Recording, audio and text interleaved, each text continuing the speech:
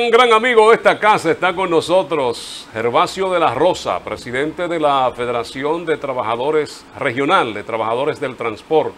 Federación Regional de Trabajadores del Transporte está con nosotros. Vamos a hablar sobre este tema tan importante para la vida de un país como es este medio. Gervasio, buenos días. Qué placer saludarle. Buenos días, buenos días a cada uno de ustedes. Realmente estamos aquí siempre a la orden de cada uno para que puedan decir lo que ustedes o preguntar lo que ustedes crean necesario dentro del Gervasio, tren. Se logró concretizar un aumento de la gente de la ruta C que estaban, eh, que gradualmente iban a aumentar el, pasaje en el concho. No, nosotros eh, prohibimos esos aumentos y y le, llamamos la atención a los dirigentes de la C, aunque ellos hicieron un, aumento de recorrido aprobado por el ayuntamiento, pero ellos me manifestaron que era la Junta de Vecinos que quería el transporte y realmente habían eh, eh, lanzado esa bola de humo y nosotros a ellos le, le dijimos que en ningún momento nosotros estamos de acuerdo con aumento en las rutas de transporte urbano e interurbano en estos momentos. Tienen aumento de 5, 10 y 15, dependiendo la distancia del pasajero. Sí, no, no, nosotros prohibimos esa situación. O sea que nunca estuvimos de acuerdo y se lo manifestamos a ellos, tanto personal como, como públicamente se lo manifesté. Pero entonces se hizo una extensión de la ruta. Sí, una extensión sí, porque parece que los guagüeros de Jacagua abandonaron el trayecto. Entonces, al abandonarlo, entonces el ayuntamiento junto con las juntas de vecinos y la ruta C aumentaron el recorrido desde la tres cruces, hasta eh, la entrada de Jacagua, que es la, subida donde realmente eh, llegaban los vehículos. ¿Y se produce un espacio, un déficit entonces en cuanto a espacio en el transporte en esta zona? Si dejaron los guagüeros. Sí, sí, había, había un espacio vacío y realmente eh, los comunitarios estaban eh, incómodos por la situación y querían que se les diera el transporte. Entonces el ayuntamiento, como eran los comunitarios, realmente tomaron eso en cuenta y, buscaron la fórmula, estudiaron el proceso hasta que le aprobaron ese recorrido a la ruta. ¿Y cuáles fueron las razones por las que abandonaron esos guagüeros? Bueno, quizá la, la difícil situación, tú sabes que eh, después de la pandemia la situación ha sido un poco difícil, tanto en el transporte como en otros sectores. Y, eso ha dejado muchas bajas. La pandemia dejó muchas bajas y en el transporte eh, la situación ha estado un poquito difícil eh, de ahí para acá, en todos los aspectos. Entonces, ese, nuevo tramo, ese nuevo recorrido, no tiene el mismo precio. O sea, el que va en ese tramo no paga lo mismo. ¿No paga un poco más?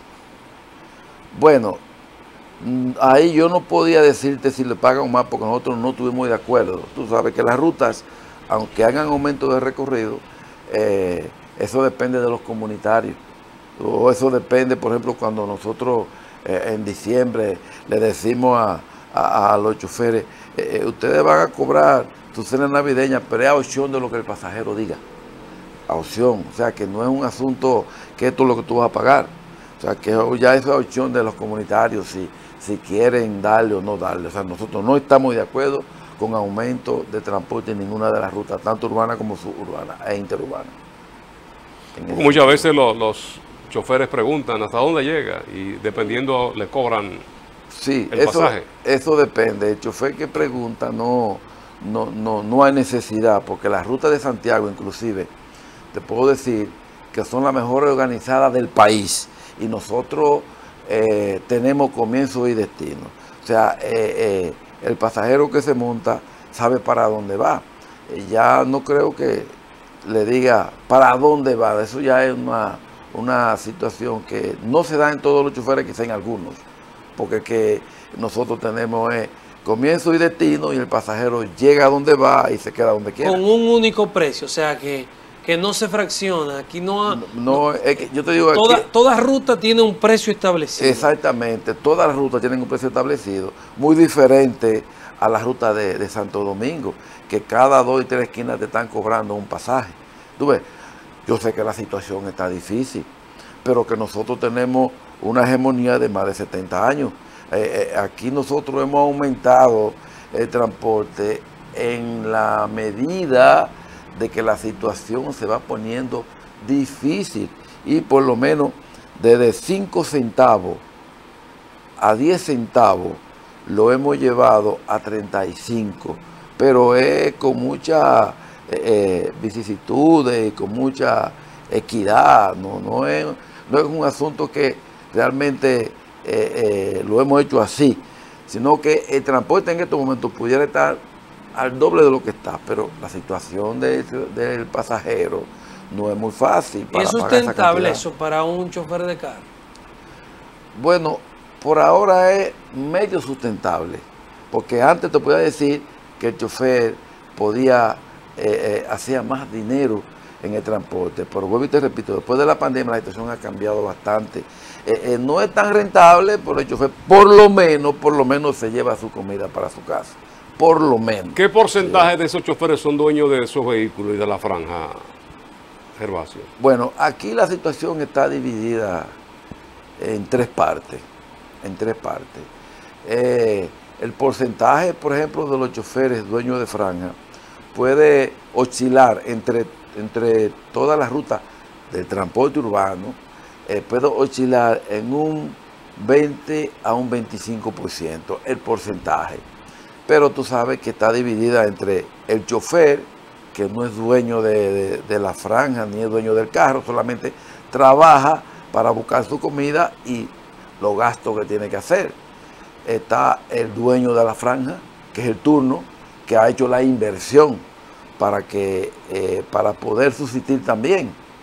Y está el dueño del vehículo, que también es el que alquila su vehículo para también subsistir de ahí. O sea, son tres, tres personas que se benefician de un, de un turno en, en la ruta. No es que es todo, no es que son todos, si no, yo te lo puedo hablar que ahí hay un porcentaje por lo menos de un, de un 60 a un 70%. ¿Hoy día cuesta más una franja que un vehículo? En algunas rutas sí, en otras no. En algunas sí. ¿De cuánto estamos hablando? ¿Qué puede costar una franja? No depende de la ruta que sea. ¿La más cara por dónde anda? Bueno, ahora mismo la más cara puede oscilar entre 300 o 400 mil pesos. ¿Y la más barata? La más barata puede oscilar entre 50 a 75 a 100. ¿Y, ¿Eso quiere decir que ha habido una disminución en, la, franja? En un 100%. Porque aquí se llegó a hablar de franja que costaban más de medio millón de pesos. Sí, sí. No, claro, claro, en un momento determinado sí. ¿Y más cómo se congelaron? Sí. ¿Eh, ¿Cómo? ¿Más? Se congelaron. Que ya no se emiten el, el, otorgamiento de, de, franja. No, no, mira, eh, eh, hay muchas personas que critican la posición del alcalde Abel Martínez. Nosotros no. Nosotros hemos dicho que el alcalde se ha manejado con mucha equidad dentro de lo que es el transporte urbano en la ciudad de Santiago. Eh, eh, yo siempre digo, el alcalde lo único que tiene que no se abre, no se reúne con nadie. Pero en cuanto al transporte desde que él llegó, él frizó esa situación. Muy diferente a los otros alcaldes. Por eso le decía, eso no disparó los costos entonces de la franja. ¿Y eso no disparó los costos de la franja? No, no, no, no, eso no disparó, sino que a nosotros siempre nos ha gustado la tranquilidad dentro del sector. Porque cada vez que llegaba un síndico y aumentaba franja en una ruta determinada, ya eso traía inconvenientes dentro de los mismos dirigentes y los choferes. Y era un un, problema interno que creaba el alcalde que aumentaba en componenda con, otros sectores y eso trae mucha intranquilidad. Pero desde que el alcalde llegó en el transporte urbano ha habido tranquilidad porque no ha habido aumento de franja. Recorrido ya sea otra cosa porque son las comunidades que realmente lo, lo aceptan y quieren que se le dé y en común acuerdo tanto con los dirigentes, el alcalde y las comunidades, pues se hace el recorrido. Pero en esa parte nosotros eh, eh, le damos un reconocimiento al alcalde Abel Martínez, que frizó eso de estar aumentando franjas en las diferentes rutas y eso ha llevado desde la fecha que llegó hasta ahora, mucha tranquilidad en el sector de transporte. Pero si se han creado nuevas rutas. Nuevas rutas. Sí. Bueno, eh, hasta ahora no tengo conocimiento, sino aumento de recorrido. Ah. nuevas rutas no. Aumento de recorrido, sí. Gervasio, entonces, eh, siguiendo esta línea que dice Fran, cuando se congelan las, eh, las franjas por parte de, de la alcaldía, eso pareciera que le impregna un valor porque hay una escasez en el mercado, es decir, ya no hay nueva. Sin embargo, aquí hay una información de que usted dice que han caído los precios de la franja. Sí. ¿A qué obedece entonces eh, esa caída de los precios? Mira, la caída de los precios, ¿a qué, ¿a qué lleva a que hayan bajado muchísimo? Que nadie está invirtiendo en el transporte en cuanto a franja se refiere. Antes había un mercado de que tú decías, vendo en tanto, aparecían siempre quien la comprara. Pero después que vino la pandemia es lo primero. Y después que se anunció el aumento, el, el monorriel y el teleférico, nadie quiere invertir un centavo ya en la ruta ni en franja. Claro, lo, lo que están ya tienen que mantenerse porque lo tienen, pero nadie quiere invertir y como nadie quiere invertir, eso está... Hay temor, hay en el sector de ustedes por Claro, lo que vaya a ocurrir. con Claro. eso. No está definido. No, nada. no hay, no hay nada definido, nada, nada. Nosotros inclusive tenemos una inquietud y ustedes ven que eh, eh, nos comunicamos, eh, hemos hecho varios anuncios, eh, queremos reunirnos con el presidente para tratar el tema de qué se va a hacer con los choferes que van a ser desplazados, aquí hay varias rutas que se van ahí de paro. O sea, todo eso conlleva a que eh, eh, la situación en cuanto a la inversión se refiere, ya eso no existe. Ahora tú quieres comprar, por ejemplo, una franja y tú la encuentras fácil en cualquier ruta y, y la consigues por cualquier cosa. ¿Por qué? Porque la situación está un poco difícil. Y mira, nosotros desde el principio le estamos haciendo propuesta verbal. Todavía no ha habido nada por escrito, no hemos tenido ningún tipo de información de parte del gobierno, de- del presidente, ni del Intran, ni de la, del ministro de la presidencia, nada en absoluto. Y nosotros le hemos dado eh, eh, eh, parte de lo que realmente queremos, pero verbal, a ver si realmente el presidente se reúne con nosotros, eh, eh, donde participe el Intran y qué sé yo, otra persona que quiera participar, para ver si realmente el presidente puede resarcir, resarcir parte de esa inversión que tienen los transportistas en cada una de las rutas y así salen muchos de circulación y con ese resarcimiento ellos pueden eh, eh, eh, lograr objetivos por otros lados.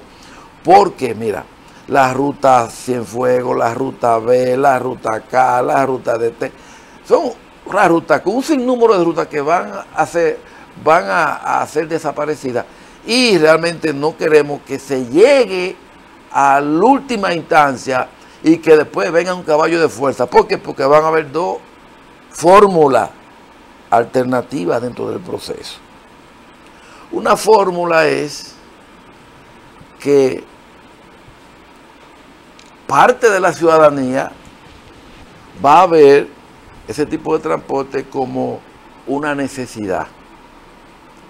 Pero otra parte de la ciudadanía, que es el sector choferil con sus gente, lo vas a ver como una bofetada al sector y que le va a afectar a muchos.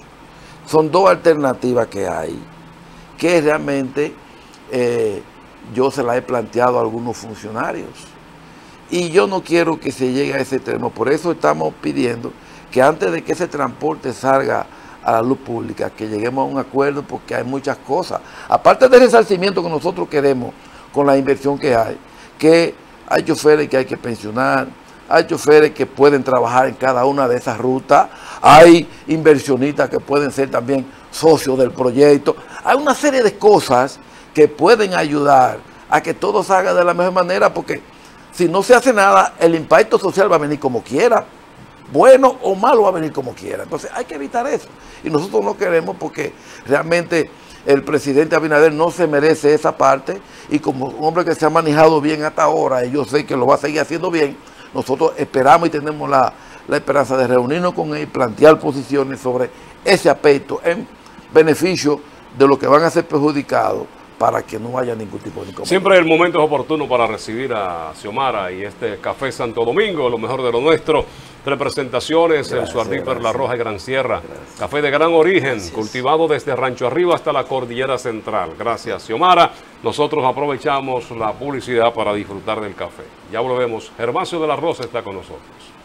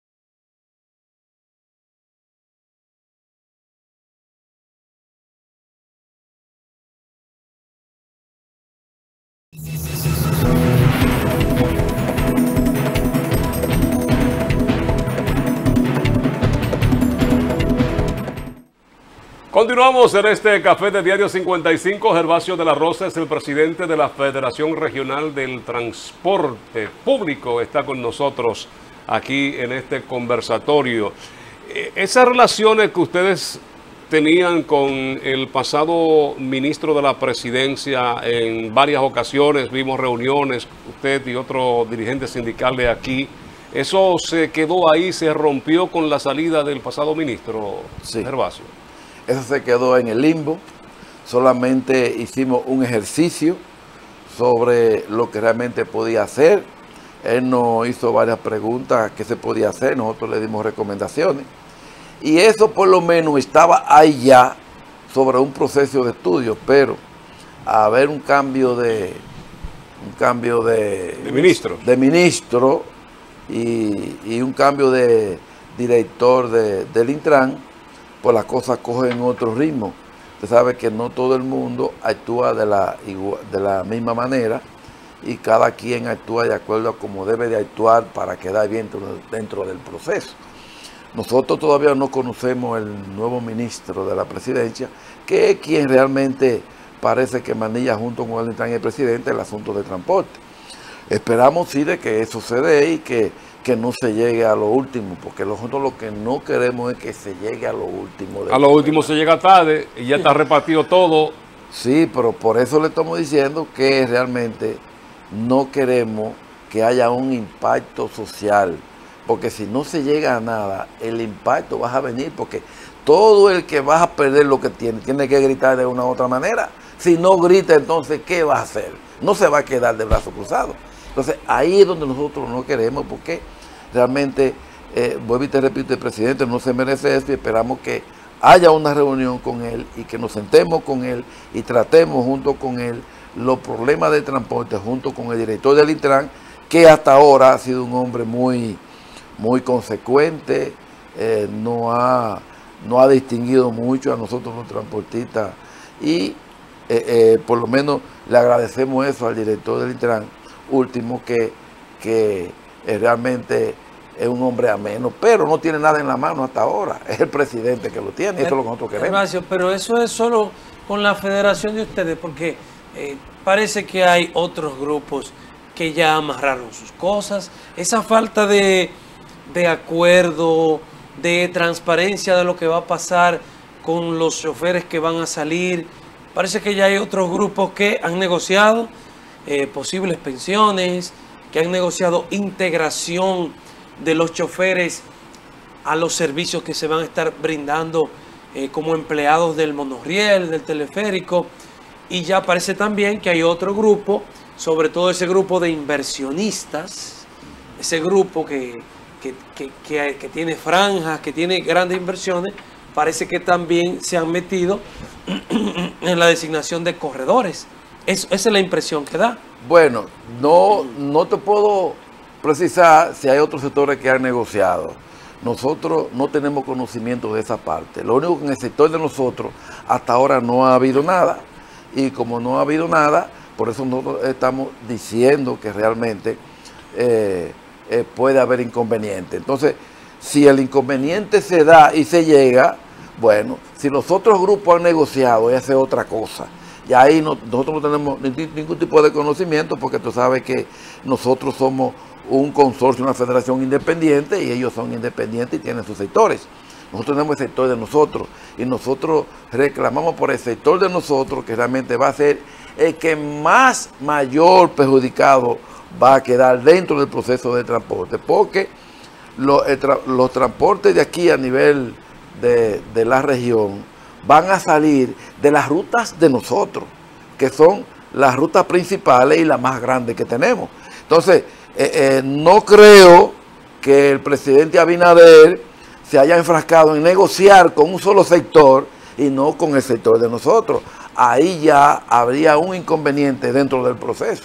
Yo eso no lo desconozco y por eso no creo que el presidente Abinader tenga esa sagacidad de negociar con un solo sector y con el otro no. Eso puede traer inconvenientes. Ah, pues que ha sido entonces a puerta cerrada, porque aquí ya se ha dicho de rutas específicas y quién las tiene, y ya esas personas hablan como que, sí, que el sector tiene ya eh, eh, esos corredores y ese tipo de, no, no, no, asignaciones. No, hasta ahora no. Hasta ahora no, porque inclusive todavía ayer conversé con el director del Intran y quedamos de reunirnos de nuevo, que él viene para Santiago el martes, y realmente no ha habido nada. Me reuní con un funcionario que son los que manejan las diferentes rutas, eh, lo que hacen el los censos en la ruta y me dijo que todavía hasta ahora no ha habido nada, que está exento de eso. El director, la última vez que conversé con él, me dijo que tampoco, que él me va a avisar lo que va a suceder, lo que va a pasar. Hasta ahora no ha habido nada. Digo, en el sector de nosotros, no sé sobre los otros sectores, porque si tú te pones a mirar en Santo Domingo, ok, hay algunos sectores que hicieron su trabajo, pero ese sector es un sector que tiene su gente allá y hay otros que no, que están gritando allá. Aquí quizás pueda ser lo mismo, pero yo desconozco cualquier tipo de negociaciones que se haya hecho aquí en el transporte, eh, eh, eh, en la región, y que el sector de nosotros lo hayan dejado fuera. Y si lo dejaron fuera, sabe que problema va a haber en el camino de una u otra manera. Gervasio, aproximadamente, porque se dan cifras, ¿cuántos vehículos del transporte tiene Santiago? Aquí en, el sector de transporte hay unos 8 mil vehículos en el transporte, eh, eh, en el transporte urbano. El suburbano es otro y el interurbano es otro. O sea que son diferentes en las diferentes rutas de transporte. Y las más grandes son las que yo dirijo. Por lo menos la más, ruta más grande de Santiago es la ruta de la M, que tiene 966 carros trabajando alternativamente. La llamada circunvalación. La circunvalación. Aparte de eso, le sigue la ruta A, la ruta. ¿Cuánto tienes tú en la M? ¿Cuántos vehículos? 966. 966. 66. Trabajando alternativamente. Un día sí, la mitad, otro día Mira. Gervasio, como el presidente apuesta mucho a las alianzas, a la APP, Alianza a la Público-Privada y la cosa, y, y no han vislumbrado, no han pensado ustedes ser parte del negocio y no empleados. No, no, pero que como te digo, nosotros tenemos todas las buenas alternativas, pero hasta ahora no ha habido nada. Hasta ahora no ha habido nada. Ahora, yo no creo que el presidente Abinader, ni el, director Hugo y el, y el ministro de la presidencia se enfraquen a negociar con un solo sector y con el otro sector no, porque sabe qué problemas van a tener.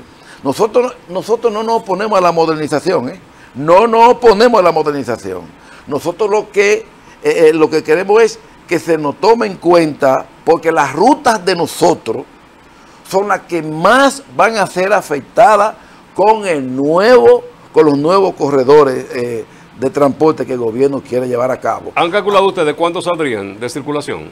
No, no, no, van a salir más de 3.000 choferes de las diferentes rutas donde van a ser perjudicados. 40% aproximadamente. Entonces nosotros creemos y le llamamos la atención al presidente Abinader que se reúna lo más rápido con nosotros para que tratemos alternativas sobre el proceso de transporte aquí de la región antes de que salga, porque una cosa es el impacto social que acoge la ciudadanía y otro el impacto social de los que van a ser perjudicados dentro del proceso. Eso es lo que yo he estado eh, diciendo en todos los momentos, aunque hay sagacidad. Sabemos que hay sectores de Santo Domingo que muchas veces quieren hacerle daño al sector de Santiago. Y realmente, como ellos creen que están en el poder absoluto, eh, creen que pueden manipular muchas cosas que realmente van a ser perjudicados. No ha habido intervención de nosotros después que se fue Macarrulla con ningún sector del gobierno hasta ahora, con ninguno. Y nosotros estamos pidiendo a voces de que esa parte se resuelva lo más rápido posible antes de ¿Y a ustedes no le ha llamado a suspicacia que ya el anuncio del inicio de operaciones del teleférico está para unos cuantos meses y todavía ustedes están sin ningún tipo de conversación con las nuevas autoridades? O sea, porque ya el anuncio está para los próximos meses, por lo menos el teleférico que va a comenzar a operar y va a comenzar a operar y pareciera, Herbacio, por lo que usted dice, que ustedes estarán en plena ignorancia de cómo se van a desarrollar las cosas. Sí, sí, pero vamos a esperar el momento. Ahí, ya yo planteo ¿Hasta alternativas. ¿Hasta cuándo aguanta la diplomacia?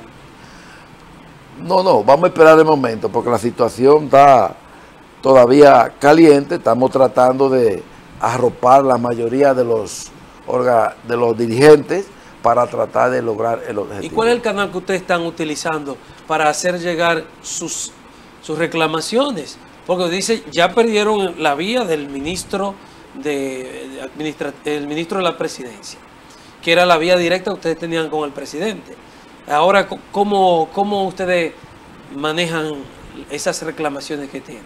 No, no, nosotros tenemos ¿El una, reunión. El Intran es que realmente ha estado hablando con nosotros, pero nosotros tenemos una reunión próximamente con todos los dirigentes y vamos a trazar alternativas sobre ese aspecto, en ese Ya. sentido. Mire, se está hablando, eh, Gervasio, y aparentemente los más perjudicados serían ustedes, los del transporte público, de la inspección vehicular que se estaría llevando a cabo y sería a través de empresas de las famosas alianzas aquellas. ¿Realmente sería así? ¿Ustedes serían los más afectados con esta inspección y la revista y, y el transporte? Sí, claro, claro, somos los más los mayor afectados porque, vuelvo les repito, la ruta más grande de aquí de la región la tenemos nosotros. Y, la gran mayoría de los choferes lo tenemos nosotros. Entonces, por eso te digo que seríamos los mayores afectados en ese sentido. Eh, hay sectores de transporte que están utilizando muchas estrategias a su favor. Nosotros no. Nosotros usamos transparencia total hacia afuera y hemos eh, eh, eh, dicho, cada vez que hablamos, hemos dicho todo lo que haya que decir de una u otra manera. Y no es una manera de sacar muchos vehículos que no están en condiciones óptimas para estar movilizando personas. Nosotros no tenemos inconveniente, no tenemos inconveniente. Nosotros, si las cosas se hacen en común acuerdo con nosotros y con lo que nosotros realmente queremos en favor de ellos, no tenemos inconveniente. Porque ya yo he hablado fórmula. ¿Cuál es resarcir? Es una fórmula de resarcir. Pero, pero, pero ¿cómo resarcir? Porque, o sea, la inspección lo que viene a asegurar que los vehículos que andan rodando en la ciudad tengan las condiciones para hacerlo.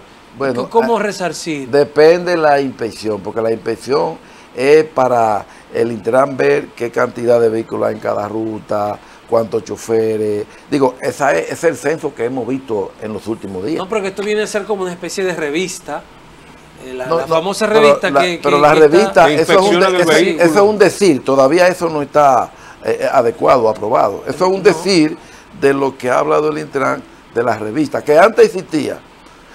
La paralizaron y ahora quieren revivirla, pero andan buscando fórmulas. Una de las fórmulas que se andan buscando, que he oído decir, que quieren darle eso a una empresa privada. Yo no estoy de acuerdo con una empresa privada. ¿Por qué? Porque eh, es mejor que lo maneje el Estado y no una empresa, porque con la empresa hay muchas limitaciones, muchas limitaciones, entonces eh, eso eh, da mucho que decir con respecto a, las diferentes empresas. Entonces, el problema, por ejemplo, de la licencia, la licencia la tiene una empresa que el gobierno pasado se la dio a una empresa privada, y eso tiene mucho... Eh, Pero eso está mejor organizado. ahora sí, funciona bien. ahora, fue que lo organizaron un poquito. Ahora, un, poquito? Pero no hay fuerza de parte del Estado. El Estado no tiene la fuerza necesaria como la tiene la empresa que está manejando el asunto. Pero, no hay. pero lo que pasa es que la parte operativa la lleva la empresa. O sea, con esto, por ejemplo, de la inspección, el Estado dice que no está para instalar un taller por aquí, por allá, porque para la inspección se necesitan unos talleres.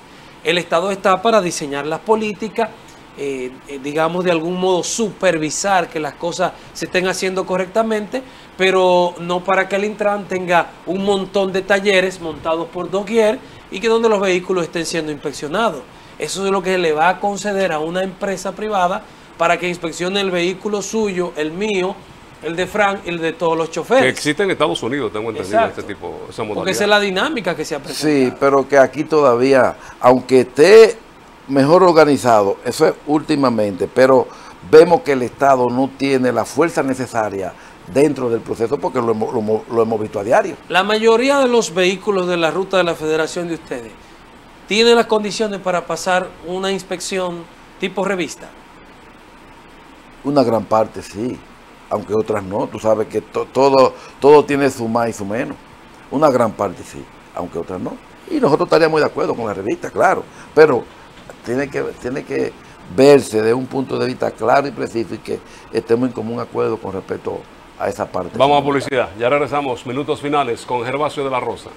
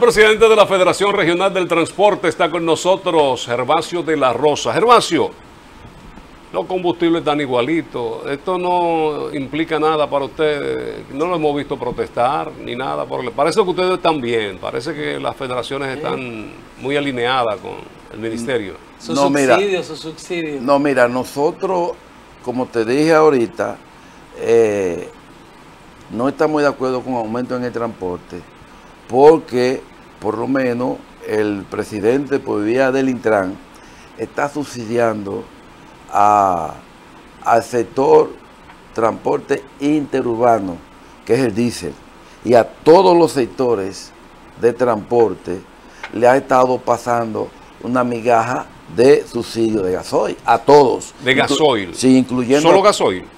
Eh, eh, gasoil, diésel, eh, incluyendo el sector de Santo Domingo y el sector de Santiago. Todos los sectores de Santiago están recibiendo un pequeño subsidio en las diferentes rutas eh, interurbanas que son las que consumen ¿Y por qué usted lo cataloga de eh, migaja? Eh, bueno, porque es una mínima migaja para ayuda de que no se le aumente el transporte a, al pasajero. Por eso se ha mantenido y por eso no estamos de acuerdo con eso. A todo lo de la región y lo de la capital le están pasando su migajita de subsidio para que puedan mantener el transporte al mismo nivel. Y en el sector de transporte urbano por lo menos hay un de un 40 a un 35% que están recibiendo el bono, el bono gas. El bono gas. No todo, de un 40 a un 35%.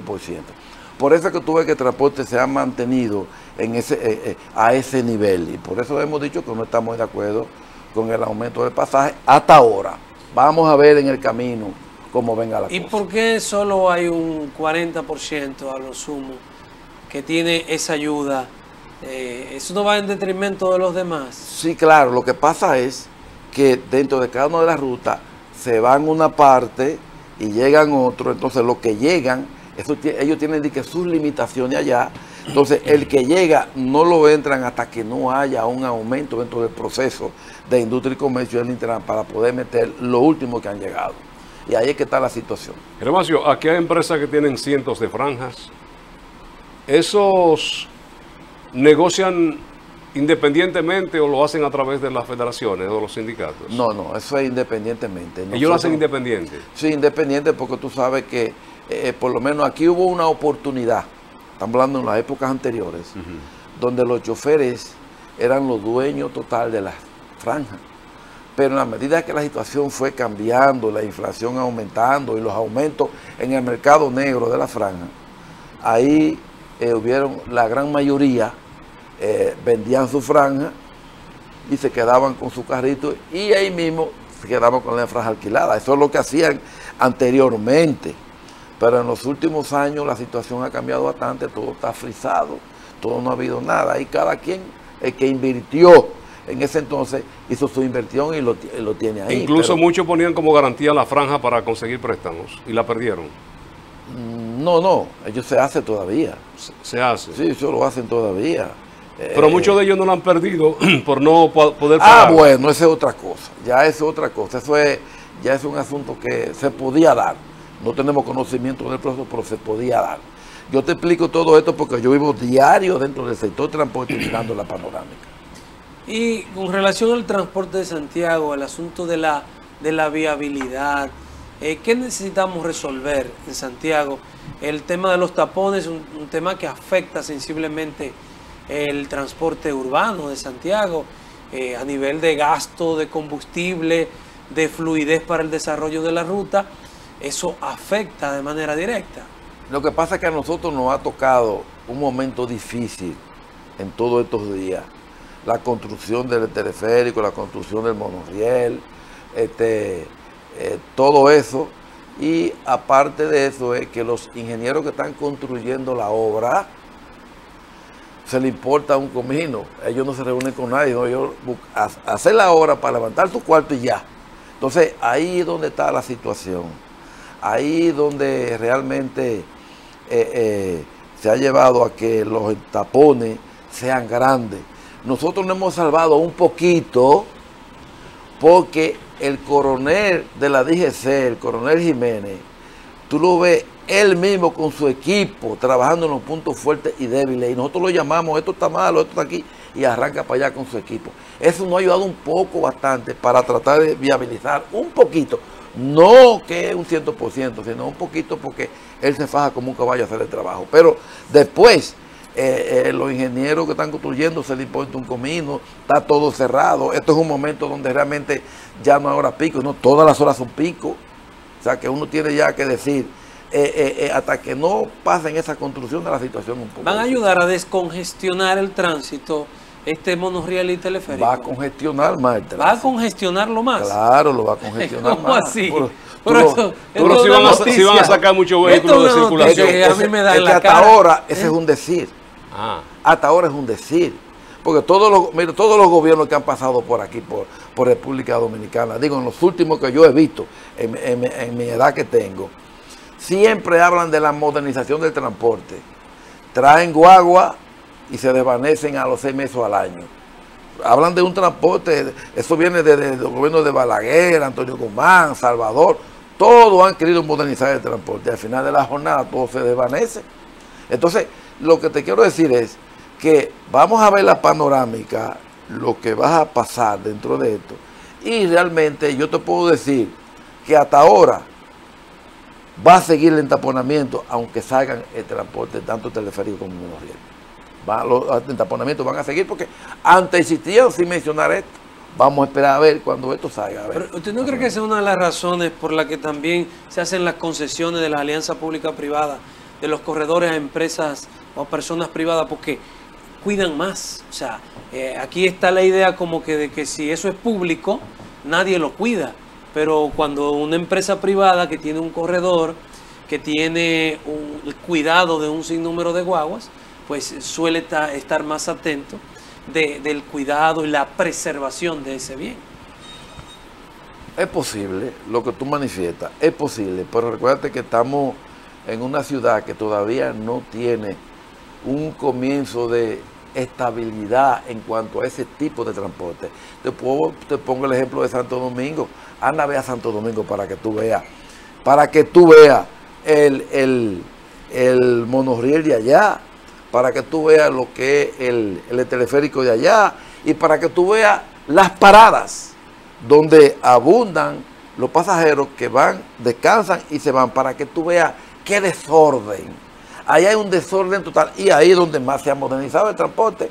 Y los mismos carros, chatarras, las mismas guaguas siguen ahí, tú lo ves a diario cayendo. Oh, si allá no han podido modernizar el transporte, como se quiere, como tú lo estás explicando. Aquí va a ser más difícil, porque ¿qué tenemos nosotros? Y le agradecemos, y siempre lo he dicho, que el pasajero de aquí es un pasajero con parón muy diferente a la capital. Yo te llevo a ruta a la capital, donde tú ves mujeres buenas, mozas, bien vestidas, montadas en camionetas para llegar a su lugar de destino, con ese monorriel, con ese teleférico en la capital. Aquí no.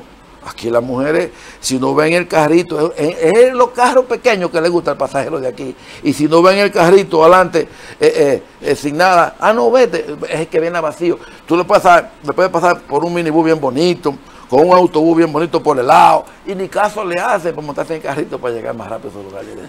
Gracias al presidente de la Federación Regional de Trabajadores del Transporte, Gervasio de la Rosa, que ha estado conversando con nosotros en este café de Diario 55.